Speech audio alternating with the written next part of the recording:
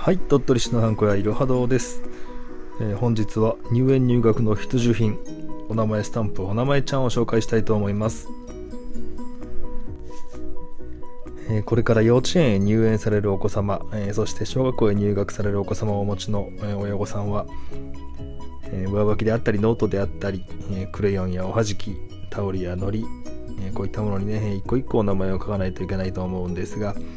え特にこの算数セットのおはじきや、え数数え棒ですねこういった細かいものに一個一個お名前を書いていくというのはとても大変な作業だと思います、えそこでおすすめするのがこちらの、えお名前スタンプお名前ちゃんですね。えこちらのセットはですね、え、まあ、大きいものから小さいものまで、えー、いろいろなサイズのお名前ゴム印を、えご用意しております、え、そしてこちらがですね、え布用のスタンプ台バーサクラフトという商品になるんですが、えハンカチやタオルなんかですね、えそういった布製品に対して、えゴム印を押していただいて、え乾いた後アイロンをかけますと洗濯をしても、えお名前が落ちないといった商品になります、え、そして、え、こちらが、え、どこでもスタンプですね、えプラスチック製品であったり金属製品